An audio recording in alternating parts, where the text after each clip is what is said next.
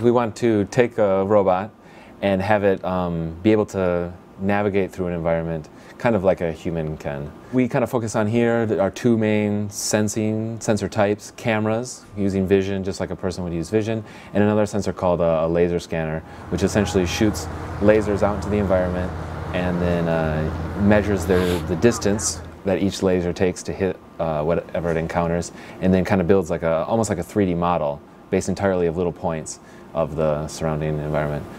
A lot of people have been successful in building maps and navigating using these kinds of sensors. But what happens is when you, when you go out with a camera one day and you take pictures, when you come back later, it'll look completely different. The lighting will have changed, the um, cars will have moved, people will have moved, uh, and even like if you want to use a map for a really long period of times, the seasons will change and things like that.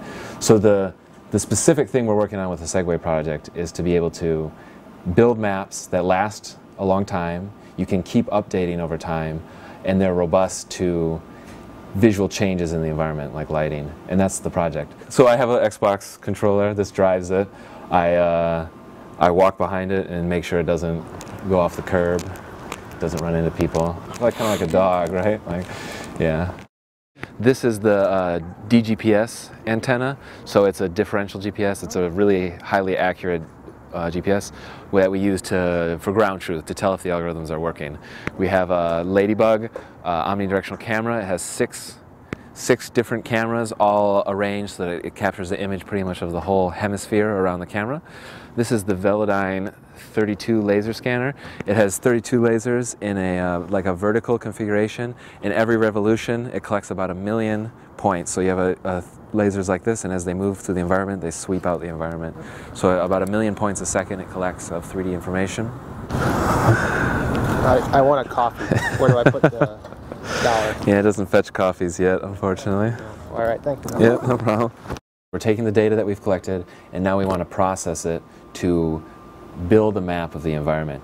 And so here's kind of what the robot sees as it travels from the laser scanner. So uh, how does it combine the laser scanner with the uh, point map?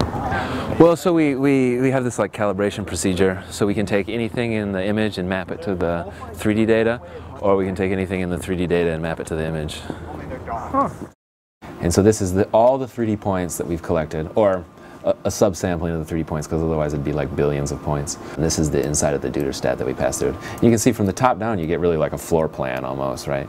But then it has the 3D information. You can see the pillars and the, if we go inside the the diag, you can see that's the clock tower kind of in the foreground. Next step is to take the the 3D structure and then overlay the imagery on top of it. The idea is maybe not a robot, but an instrumented camera, whether the instrumented camera is on a car, in a cell phone, and those, those can um, be able to use this map.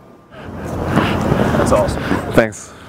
It's North Campus, so most people say it's awesome. Yeah, people jump in front of the camera. I got some funny pictures of them. Wow, that's cool.